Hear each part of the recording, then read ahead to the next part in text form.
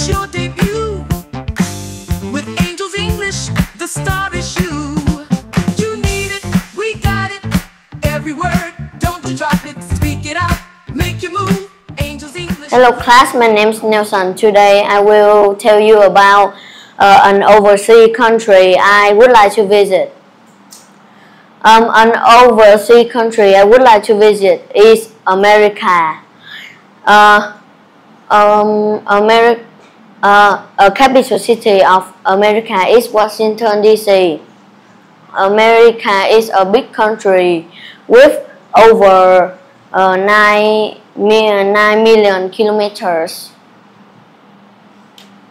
Um, America have a lot of people uh, uh, with uh, 335 million.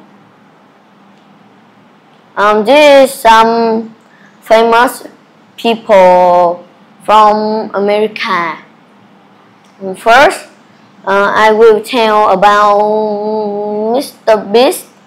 Um, he was born uh, on uh, 7 of May in uh, 1900 uh, for 998 uh, he is a YouTuber. Um, next I will tell about uh, Donald Trump.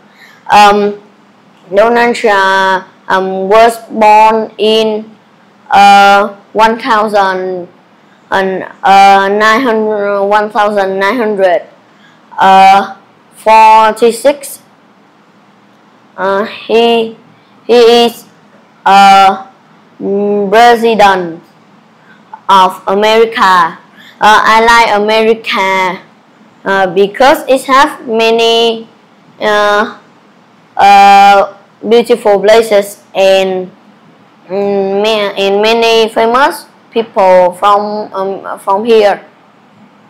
I'm finished. Thank you for listening.